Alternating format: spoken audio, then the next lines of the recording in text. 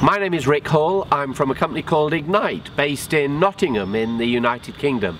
And I'm here in the grounds of the IUCAA uh, facility in Pune. I'm delighted to be here.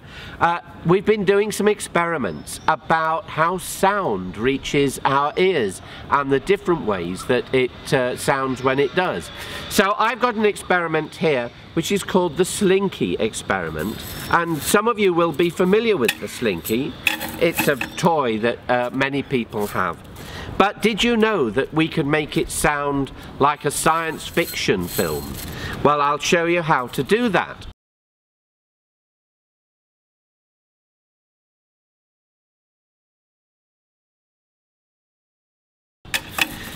First of all, you just take a slinky and you need two pieces of ordinary string, which we have here.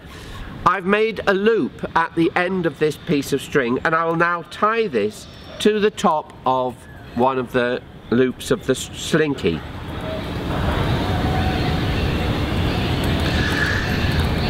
I'll show you how just quickly make the loop. You just form a loop, tie it round, and there we have a loop.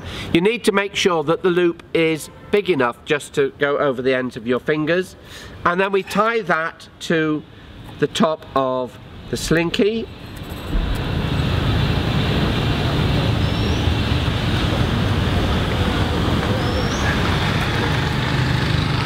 and there we have it. Now the exciting thing is that if you then place the, the loops over the ends of your forefingers, your index fingers, and put your fingers in your ears, then you get the most amazing sound effects. Which of course you can't hear. But when we have some children, I'll demonstrate just how amazing that is. Now, we can I've discovered that not only can you do it with just yourself, but if you tie four pieces of string to the slinky, two people can have a go at the same time. And why stop at two? If you tie four pieces of string to the slinky, a group of people can play all at the same time. So again, this is a sound experiment. Let's see what happens when I ask the boys to put that loop over that finger and that loop over that finger, facing each other but not falling off the off the thing. Um, well, can you come a bit closer to the edge because I'm going to try and drop it down there. Okay, pop the finger, your fingers in your ears. Okay, and I shall drop it and I'll go three, two, one, go. That I think something happened.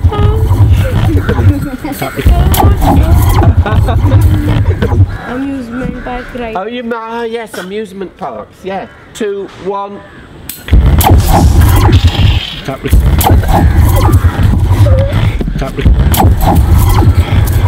Can you hear something? What does it sound like? And it's all because the sound is travelling through the string better than it travels through the air.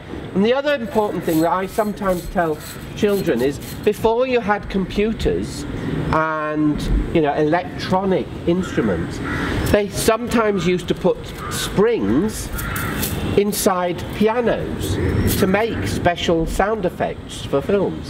So that's how they made special sound effects before you had computers. Okay.